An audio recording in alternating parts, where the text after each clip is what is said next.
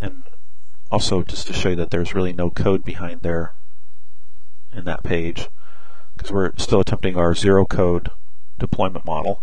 We've got no code in WebForm 2 either. We've got the same thing going on here, um, but this time we're using Russian. So we'll set that as the start page. Uh, launch it.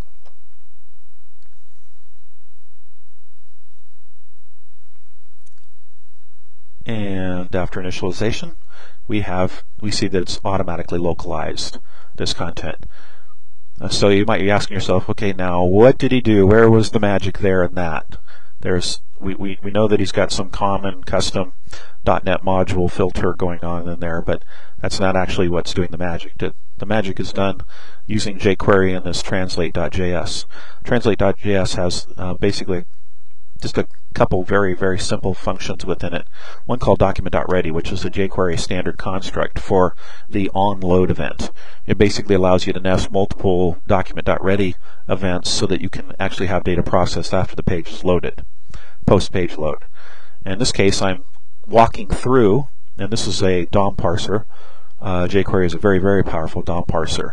And I'm going for each span tag where, the, where it has a class application of .t. And for each of those, I'm going out and I'm checking to see if this JData object has been populated. Okay, and the JData object is actually is what's getting returned by this call to common services.ashx. And if it has, then I set the inner HTML of that particular object to be the data in this class object called JData. And let's look at common services to see what the function call. We know that the function is getting remapped based on what we looked at in the web config to call get localization data. Inside common services here, we'll go down to get localization data, if I can type straight.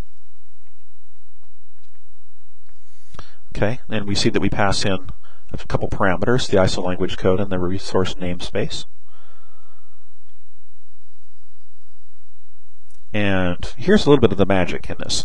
Um, we could basically repattern this to look at something or other like an external exe or another DLL that had embedded resources within it. And we could do it in this type of fashion if we wanted to.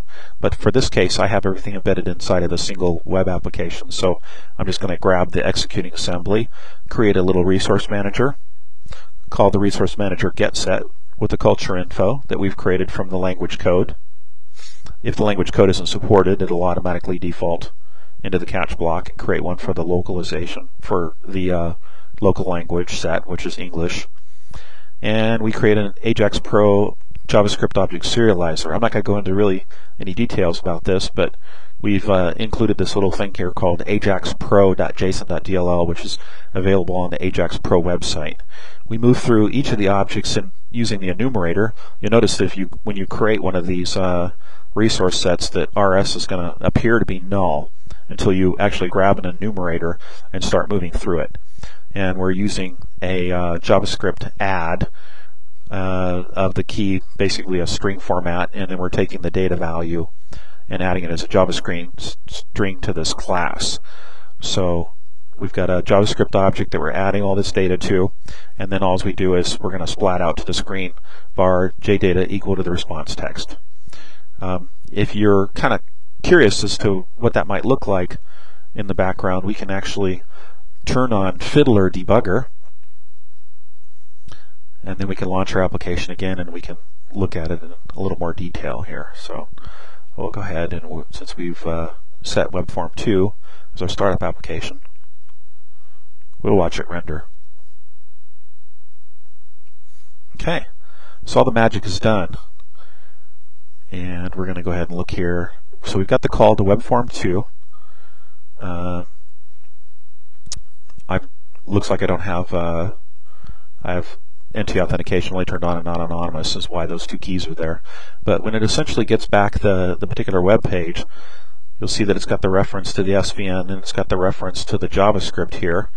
Um, after this ASPX page is loaded, then it makes the call to get back to JavaScript, and the JavaScript is saying var jdata is equal to this JavaScript array, which has all the data contained in it.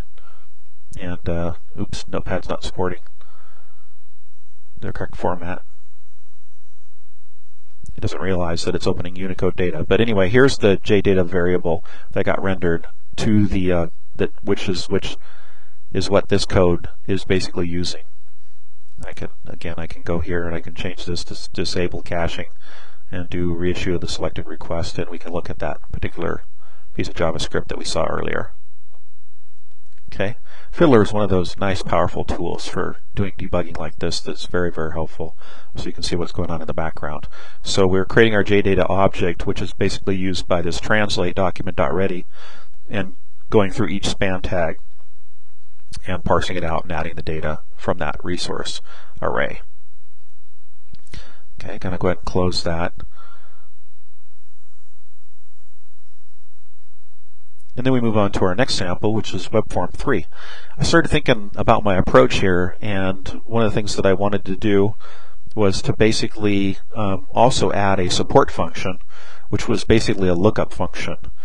And the lookup function is basically this, little piece of code here that base that goes out and for any key that you might pass in will return a text string of the data. So you can do this on, in um, JavaScript as well. You can essentially pull back data on the fly from this uh, uh, array element. See that in action. Okay and then we displayed the Chinese value for that particular piece of text.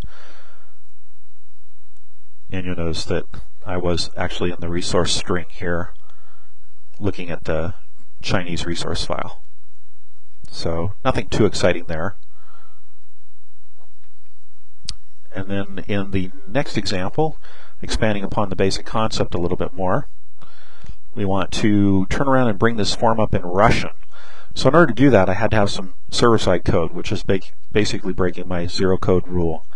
So we have static ISO language code here, and we noticed that we had to add uh, a basic default value and then check on the postback to see if a query string parameter got passed called language, and then we set that value to the, be the language code, and then when this page renders, it'll basically render out with the language code in here.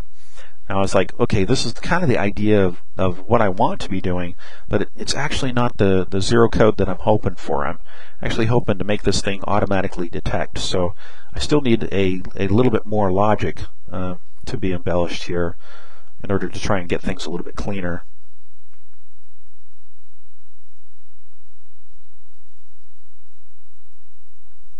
Sorry, I brought up web form 3 again. We wanted web form 4 and we'll see that this basically works. Okay? Still obviously not the best approach as I've noted on the page. Now, WebForm 5 was the next iteration. And what I did was I threw a literal control thinking, okay, well, I'll just render out that particular include file of the JavaScript and do it in this kind of format where I have a basically drop the script tag for both of the translate.js and again for the, the resource management particular part of the process. Well, as you can already, you know, pr probably under, you know, realize that this is probably not the most efficient. I've introduced a new particular piece of, of uh, resource here, which is something or other that we wrote a while back, and, and excuse the heinous naming convention here of intel.language.language. Um, but it's essentially a DLL though that we use um, into in order to do browser detection uh, first and then cookie detection to determine what language is the selected language for this particular individual based on the domain of intel.com. That way we can bring app uh, localization to all of our internal apps for the ISN software network. And again, we've basically got this literal control where we rendered it out. And this, like I said, was not exactly the uh, the best operational approach that we wanted. The uh, other little thing that we had here was we have this application actually detecting to see if we support this language or ISO code. And then from that, we're generating out the, the supported code. Uh, that's if we are going to use all internal resourcing. So uh, I don't know if I really want to get into it, but we can take a look at it. And it's basically doing a system web configuration lookup to essentially see if this is actually supported language. Now we've got a basic section group here that's defined for the languages in the rewrite.net, which is also part of our URL rewriter. And inside of here, we've got the default language. We've got some supported languages. And uh, essentially, these are all the supported languages. When you're looking at it from an app-centric uh, point of view, if you're looking at it from a third-party uh, common services type of framework point of view, where the third-party hosting is having all the languages, then then you have to kind of like make this little bit of a logical jump. So in order to do that, I'm going to go ahead and skip over running WebForm 5 because there's nothing really any different than WebForm 4 in terms of what we're doing and how we're rendering it. Uh, nothing at all exciting about this. Same thing, using a postback. Uh, but in this case using a literal control to dump the things out.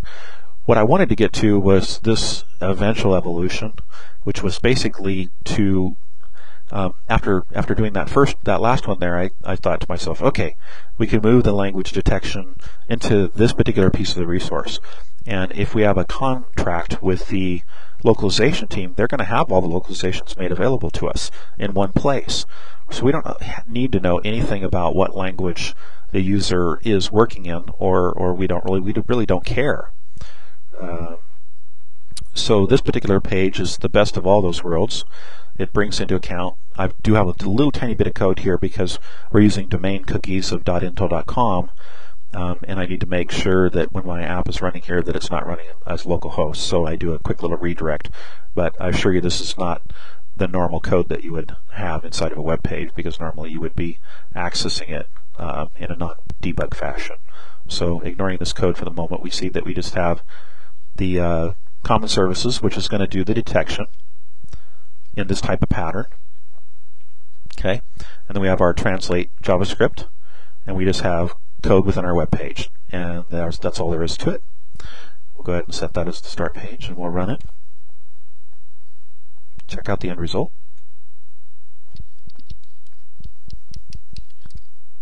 And voila, we have uh, obtained exactly what we are looking for. And here, I'm, if you look down on the lower line there of the status bar, you'll see JavaScript colon set lang and reload, which is basically a method that I added to the page um, so that you can set language codes. You could use your own drop down and display the, the languages. So if I set it to an invalid code, it just defaults back to English. And it's that simple. So basically we've made our zero code point. We have real, really no code within the web page. Um, all we're using is native .NET controls. I guess there's one other thing that I just thought about is the rendering of the label control. Just so I can show you that these things render as span tags. Okay. And since I named the span tags, the name is the same name as what the inner resource is, I'm able to do that replacement. You can see the class equal to t, so it goes span.t, and then it sets the inner HTML to be that. And it's doing it all client side, so if we are actually to view the source of this page, we'll see that it's in English because, again, it's running, running on the client and not from the server. So we've uh, achieved our end-all goal of zero code. Now we just have to get uh, adoption by the localization team, and we're going to be in business in deploying uh, localization resources in this fashion forever, evermore. Uh, not a bad solution, I think. Uh, let me think. Is there any last little bit that I would want to add into that? Our DLL is kind of pri proprietary, but the code is available. Um, and this approach and this sample can be made available, no problem. And that's all I can think of. Thanks for joining me. Bye.